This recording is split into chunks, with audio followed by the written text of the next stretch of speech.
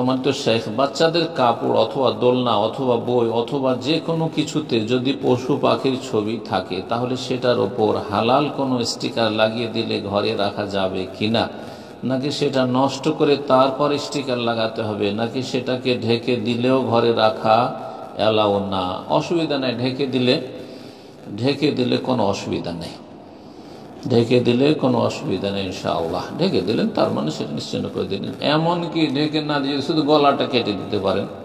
হ্যাঁ গলাটাকে যদি হ্যাঁ গলা থেকে নিয়ে মুখ পর্যন্ত যে মুখমণ্ডলটা রয়েছে, সেটার উপরে যদি কালো করে দেন হ্যাঁ তাহলে এটা গাছের কাণ্ডের মতো হয়ে গেল। গাছের কাণ্ডের মতো হয়ে গেল, আর সেটা তখন প্রাণবিহীন হ্যাঁ বা প্রাণহীন। তারপরে বলছেন, আমার এক ফ্রেন্ড বলল প্রতি পুতুলে বা প্রাণী টাইপের কিছু সাথে জিন থাকে।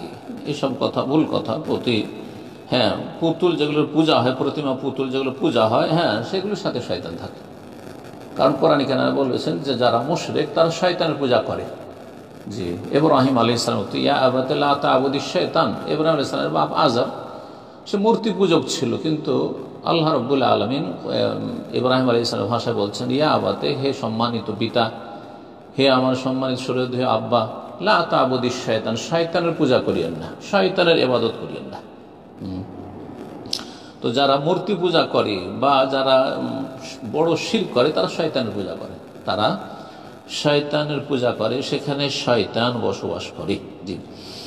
এবং অসাধারণ কিছু শয়তান দেখায়। তখন মনে করে যে, বিশেষ করে মাজার পূজা যারা করে, তাদেরকে নিয়ে শয়তান খেলা করে, আর সেখানে অসাধারণ কিছু দেখলে কেরামতি ভাবে যেগুলো কেরামতি, আসলে কেরামতি না। জি।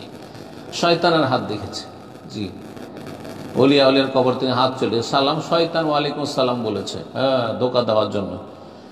শয়তান সেই জায়গাকে একবারে সেন্টার করে দিয়ে বলছে যে, আমার আতরের সুগন্ধি আসছে। জি। এইভাবে শয়তান মুশ্রেকদেরকে নিয়ে হাসি তামাশা করে এবং তাদের ইমান হরণ করে খুব আনন্দিত হয়।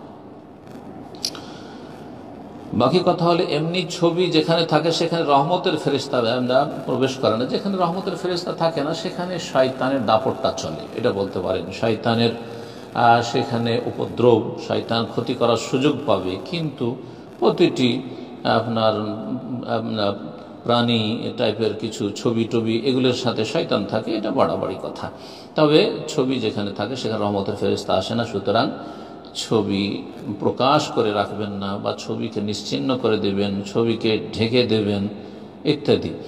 বাচ্চাদের যেসব খেলনা রয়েছে সেগুলি যদি আপনার মাটিতে গড়ে বেড়াচ্ছে লাথি মারছে এদিক থেকে ওই দিক তাহলে কোনো অসুবিধা নাই। তবে আজকালকার খেলনাগুলি থেকে একটু সতর্ক থাকবে যাতে নাক, চোখ, অঙ্গ প্রত্যঙ্গ সব কিছু প্রকাশ পাচ্ছে। সেগুলিকে এড়িয়ে চলার চেষ্টা করবেন, সেগুলি থেকে বেঁচে থাকার চেষ্টা করবেন। তারপরে বলছেন, অথবা কাপড় হলে সেই কাপড়কে ভিতরে পরিয়ে, ওপরে অন্য প্লেন কাপড় পরিয়ে ইউজ করা যাবে। অসুবিধা নেই, কাপড় দিয়ে কাপড় যদি ছবিকে ঢেকে দেন, তাও কোনো অসুবিধা নেই ভালো কাজ করলেন।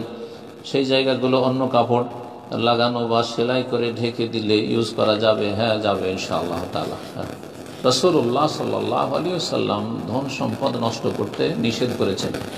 সেই বখারির হাদিস রয়েছে, নাহা রসুল্লাহ আন এদা আতিল মাল। ধন সম্পদ নষ্ট করতে নিষেধ করেছেন। সুতরাং ছবি আছে বলে সেটাকে পড়িয়ে দেবেন, সেটাকে ফেলে দেবেন, এগুলো জায়জ নয় আসলে। সেই ছবিটাকে নষ্ট করে দিলে হবে বা ঢেকে দিলে হবে বা মুছে দিলে হবে, তারপর অন্য কালো কালার করে দেবেন, যাতে বোঝাই না যায় যে সেখানে মুখমণ্ডল আছে, কোনো প্রাণীর তারপরে জিজ্ঞাসা করেছেন, পশু, পাখি জাতীয় খেলনা কি বাচ্চারা ইউজ করতে পারবে? উত্তর হয়ে গেছে যে পশু পাখি জাতীয় খেলনা বাচ্চারা ইউজ করতে পারবে, কিন্তু আজকাল যে চাইনা থেকে যেসব খেলনাগুলি আসে, একেবারে মূর্তির মতো, সেগুলো থেকে বেঁচে থাকবেন। যাতে নাক, কান, চোখ, মুখ, হাত, পা সব কিছু একবার প্রকাশ্য প্রাণীর মতো। তো এগুলো থেকে বাঁচিয়ে রাখবে বাচ্চাদেরকে, আর যদি একান্ত কিছু রাখতে হয়, তো যথাসাধ্য সর্বনিম্ন রাখবেন, যেগুলোতে অত এইভাবে মূর্তির মতো না লাগে। প্রতিমা পুতুলের মতো না লাগে, আর সেগুলি বাচ্চারা গড়িয়ে নিয়ে বেড়াচ্ছে লাথি মারছে পড়ে আছে, সাজিয়ে রাখবেন না টেবিলে। আর তারপরে আপনার যেসব আরও কিছু রাখা রয়েছে, সেগুলিতে সাজিয়ে রাখবেন। এক কথায় যে কোনো ছবিকে কোথাও সাজিয়ে রাখবেন না, ঝুলিয়ে রাখবেন না।